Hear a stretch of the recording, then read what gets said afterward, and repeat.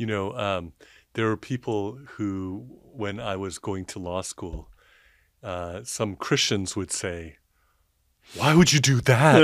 like, why are you going Yeah. to law school? Like, it was almost like, why are you turning to the dark side? You know, like, Yeah. Luke, turn back, you know, know. like, Yeah. um, and then I had people who are not Christians who were kind of like, what, are- why, why, are- why are you here? You know, Yeah. you're, a- you're a Christian, you're a follower of Jesus, you know, isn't law secular? Isn't, Yeah. you know, what does that, what does that have to do with, uh, anything to do with law? Yeah. So what I think what you're saying provides, uh, I think, a good segue Mm-hmm. then for us to be able to maybe talk about an issue that is very current right now Yeah. and uh, pertains to um, areas of expertise that uh, you have as well. Sure. And it's some it's a case that's uh, going to be reviewed on an expedited basis, as I Mm-hmm. understand, by the U.S. Supreme Court That's correct. in regards to the executive order that was made um, by the Biden White House, Yep. uh, President Biden Bi- White House, uh, in regards to student loan forgiveness. Yes. Um, what is the lay of the land here, and what's what's going on with this? What's at stake? Yeah, sure. So it might be good, f- and, and I, you're exactly right, uh, Dean. I would say at the start, it really does. Uh, this would provide an example of how what we do want to do at Liberty University School of Law is is we do believe the Bible speaks to everything. It's authoritative to everything it speaks to, and it speaks to everything. So it's got principles that that are going to help us with everything. So does the Bible say anything specifically about student loan forgiveness? Well, no, not not uh, on its face like You mean that. you don't see right? Stafford Yeah, no, in, in not, any I- verse I've never noticed, Oh, uh, okay. yeah, or uh, Pell Grants or anything, but um, Okay. but but Okay. the Bible has principles that then that then help us to understand these these types of things. So so absolutely true, great uh, topic, and so maybe just to give an idea uh, for if somebody's not heard, uh, uh, in August, um, President Biden announced what we might call the Biden Student Loan Forgiveness Plan. Basically, uh, the what that plan says is that if you if you have certain group of defined, we might just say federal student loans. So you've got federal student loans uh, that you'd be eligible uh, to have ten thousand dollars worth of those loans forgiven. If you're single and you make less than one hundred twenty-five thousand, if you're married, if it's if you make less than two hundred fifty thousand, um, and then if while you were in school you were eligible for Pell Grants, you received Pell Grants, then you could get up to twenty thousand dollars worth of student loans forgiven, and that would be for each married couple as well. So each each the husband and the wife would each get ten thousand or twenty thousand forgiven. So that's that's the plan. That's what we're talking about. Uh, obviously, made a lot of news, been in the news a lot, um, and. Uh, uh, not surprisingly, led to court challenges. Um, so uh, it was right in the run up to the election. Uh, so right before the midterm elections, led to court challenges. Um, there was uh, eventually two separate courts, uh, one in the Fifth Circuit, one in the Eighth Circuit, that ended up granting injunctions. So we ended up with a nationwide injunction to keep the plan from going into effect. Um, at that point, about 26 million Americans had signed up uh, on the Department of Education's portal uh, for for potential student loan forgiveness. It's estimated that more than 40 million are eligible. Uh, so you can see that that shows us the the extreme size of this program. So at at ten thousand dollars each for 40 million people, that that would be 40 400 billion. Um, and if some of those get 20,000, I've heard estimates running up to nearly a trillion dollars. The estimates on the low end are at a minimum of 400 billion up to a trillion, more than the cost of Obamacare if it gets on into the high end. Um, so uh, these court challenges uh, came up. An injunction was eventually put in place, and um, it then made its way to the Supreme Court. Supreme Court uh, granted cert on that, and uh, then granted an expedited hearing. So the injunction is going to remain in place through cert, the cert means the Supreme Court accepted it. Exactly right. Uh-huh. Yeah, they they yeah the Supreme Court is um uh, yeah just in case people don't know the Supreme Court is uh, an appellate court and they uh, you don't have an appeal by right to the Supreme Court except in very very limited instances uh, as the Supreme Court you have the by right meaning you can demand that the Supreme Court hear your case or your appeal. Um, so they have to they have to grant you permission to hear it. So they did grant permission to review it. Such an important case, not surprising that they would. And um, they left the injunction in place, but they did agree to expedite the case. It, it can take years for a case to work its way through the courts. Um, so uh, actually, the the Biden administration just filed their brief uh, a few days ago from when we're recording this. At the end of this month, so January of 2023, the end of this month, the uh, respondents' brief. So that's the the the parties that were challenging the student loan forgiveness plan. Their briefs will be due, and oral arguments will be heard at the end of February. Um, so we should expect an opinion uh, from the Supreme Court no later than the end of June. So the Biden administration, in response to that, to give the full lay of the land, they put um, they there there had been a, a a pause, if you will, on student loan payments and student loan interest accrual, and uh, uh, beginning early in the pandemic, actually beginning in the Trump administration, the Biden administration had kept that in place. They were going to lift that with the student loan debt forgiveness plan. When that got put on hold, they put the moratorium back in place, and the moratorium is going to run until there is a a, a resolution of the case, um, or 60 days after June 30, 2023, if that was later. But we'll have we should everybody would expect we'll have an opinion before then. Mm-hmm. Yeah. You know, couldn't you imagine a lot of people across the country uh, who have, you know, these millions, these tens of millions, Yeah. some 40 million, uh, you're saying, who have these loans? You know, higher education especially is expensive. A lot of times, private education, even K through 12, is expensive. Yeah. Sometimes it's a major expense for a family. Sometimes it takes extraordinary sacrifice Mhm. uh, to support these things. Um, coupled with uh, my understanding is most Americans don't pay federal income tax. Mhm. And couldn't you not imagine a lot of these people saying, "Boy, that sounds awfully good to me to have ten to forty thousand between my spouse and me Yeah. forgiven uh, because I have this these student this student debt that looks like a mortgage, you know, Yeah. that that's like a big chunk of thing. You know, I, I could imagine a lot of them saying, "Sign me up!" Like Yeah. the 28 million apparently who who have Oh. put put that out there. Yeah. Um, who would go like, "Boy, this sounds this sounds awfully good to me." Yeah. Oh, yeah. I, I mean, uh, almost anybody. I think uh, you know if you if you get if, if somebody forgives ten thousand dollars worth of a debt you owe, that's like handing you ten thousand dollars in cash, right? And uh, almost all of us would see that as a pretty positive development. so yeah, I can absolutely understand why uh, many people view this as a great thing. What what what could what could be wrong with it? Um, so you know, you might wonder then, well why would you be opposed to it right? Why would i be opposed to that? Or if somebody why i i am opposed to it why would i be opposed to that as a measure of policy? Well it's not because that i I look out and want people to suffer and and and you know be be poor or be in financial hardship uh, of course not Did you have Um, loans yourself? yeah Did you have well, educational I debt did, I did have some student loans yes Okay, uh, okay. so, So you know paid, firsthand. paid off but i, I you know what it's like firsthand to have debt. I uh, do. educational debt. I do Okay, know exactly what it what it's like to have student loan debts, and I know the the joy and elation that Heather and I felt when we paid them off. You know, when we thought, "Oh, these student loans are gone." So absolutely true. So I don't want anybody to suffer. That's not really the the issue. Um, uh, so why why would I why would I be opposed to it then? Um, because I might ask, you might say back to somebody, well, why, why are you being why are you being so stingy then? Uh, why not give Why not give everybody a million dollars? You know, make us all millionaires, um, right? Uh, right? And so when we say that, well, we laugh. Say, well, you can't do that. Okay, well, you know, why not? Right? Well, so so that points to to some real real reasons. I mean, first for me, and that'd be beyond the scope of this this talk here, but uh, you know, I would think biblically, God has given a jurisdiction, if you will, or, or uh, a, a jurisdiction there meaning the power to speak the law, an mm-hmm. area of authority. Mm-hmm.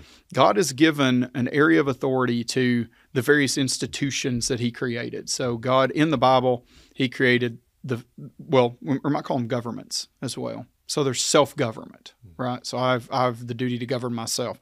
Um, there's family government, right? God created the family. The family has a certain jurisdiction.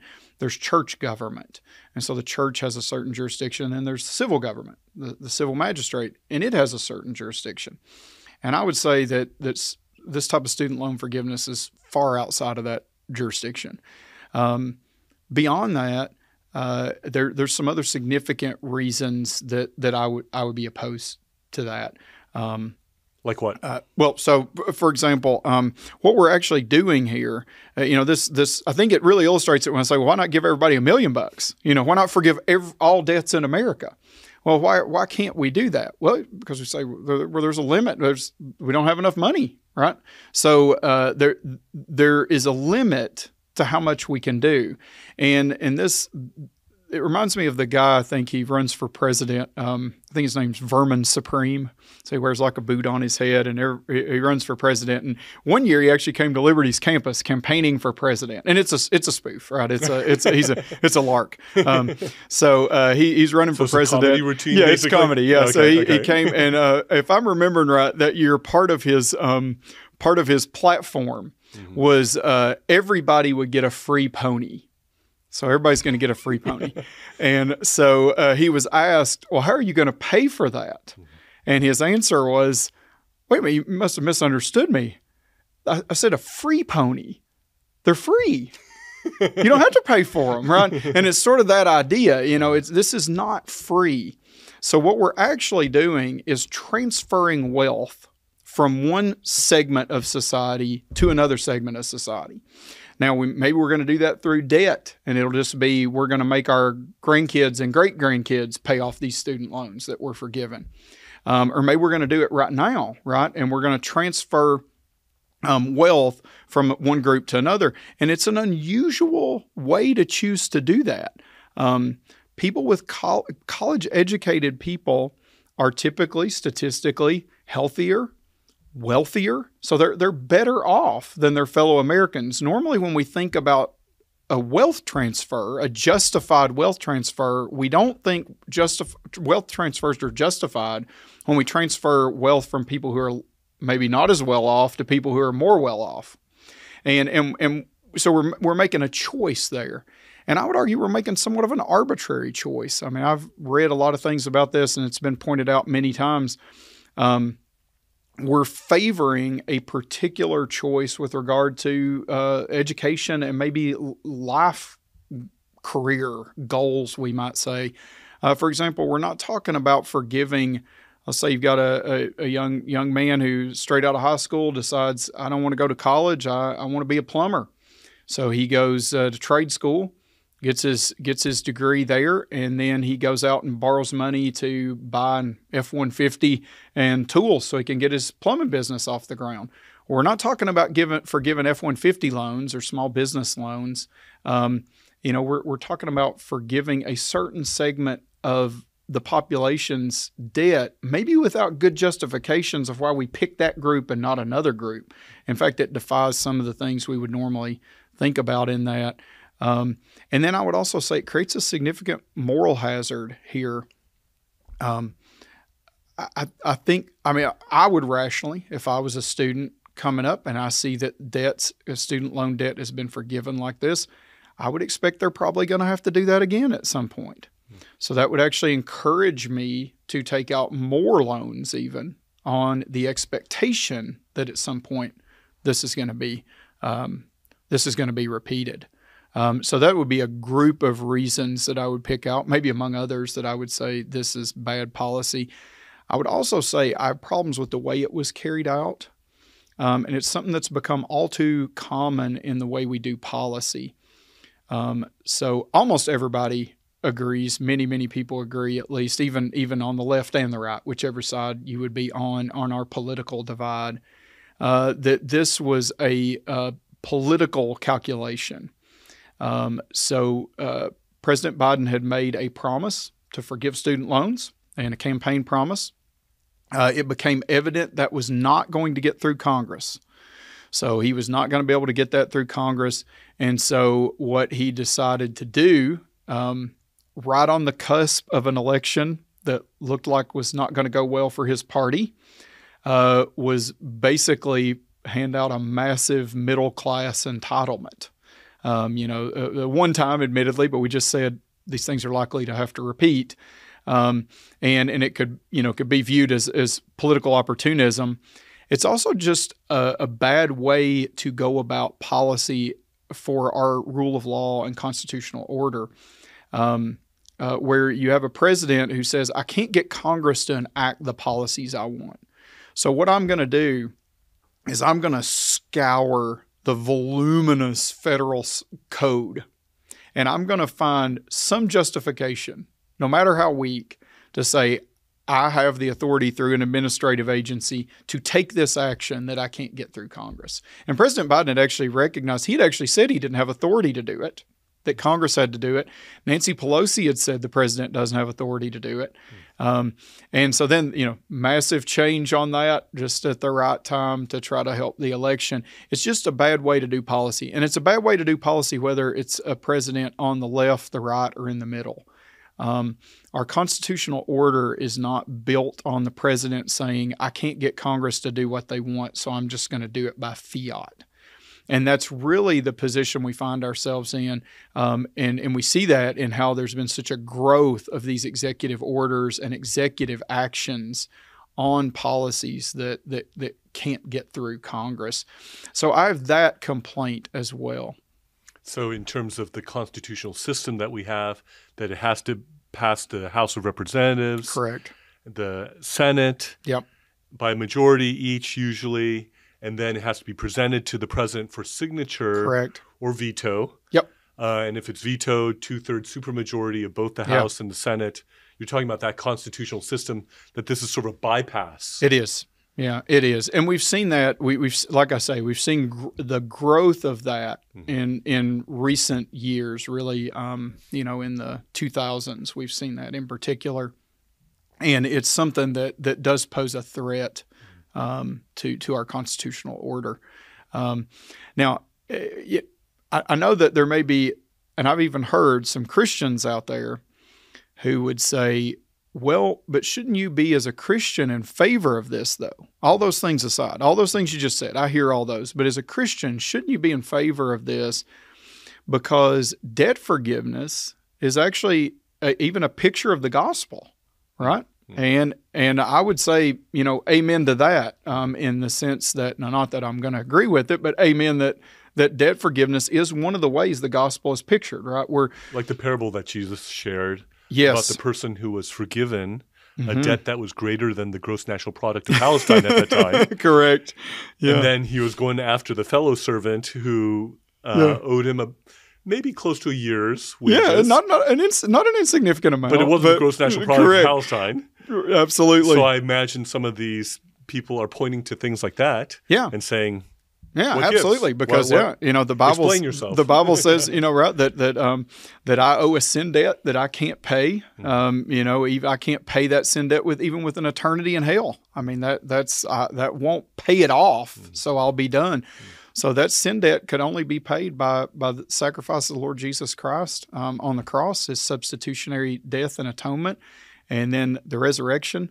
Um, so yeah, but you know, praise praise God for that. Uh, you know, it's it's wonderful to be forgiven that sin debt. Um, and I've even heard uh, it analogized this debt forgiveness plan analogized to that. Um, but there's really some important differences there. Uh, for example, when um, uh, when we talk about Jesus for my sin debt being forgiven by by God because it was paid by Jesus. That's not what we're talking about. We're not talking about that somebody willingly is paying these student loans off. I mean, if if I'll just take some people who've been publicly very in support of this, so that would be and even and even want the numbers to be higher, up to fifty thousand dollars. You know, so Elizabeth Warren or Chuck Schumer or Bernie Sanders, you know, if they were going to take their personal fortunes they're free to pay off anybody's debt they want to. And that would be more of a gospel picture there. I, I, agree with that. That would look more of a gospel picture. But that's not what's going on here. What's going on here is they're hoping to be generous with other people's money. So it's American taxpayers now or the American taxpayers in the future. And that's significantly different um, than than the gospel. In fact, I, I find it a little bit offensive even to compare it to the gospel. I, I understand, I understand where they're coming from. Um, and what they're trying to argue there. Um, but but the, the the debt forgiveness, this student loan debt forgiveness, is not a picture of the gospel, and it is not um, in line with what God is you know God is teaching us and showing us through the gospel. You're perhaps you'd be emphasizing the difference in terms of the coercive aspect of Absolutely. government taxation Yeah, versus somebody giving something out of the generosity and kindness of their heart. absolutely. Yeah, and you're exactly right. And it's as as we alluded to earlier. Um, you know, th- this is this is not free. Somebody has to pay for this. Uh, the, the there's there's no way for this to happen and magically be that that just went away. We just made this disappear. Somebody pays for it. So it's either going to be that the American taxpayers now are going to pay for it, or in recent, in, you know, years to come, or we're going to pile it onto our national debt, uh, which means our grandkids and our great grandkids are going to be paying for it. Somebody has to pay for it, um, and uh, and and in that regard, um, you're right. It's going to be by coercion. We're going to make some people pay for it. We're either going to make some people right now pay for it, or we're going to make people down the road pay for it.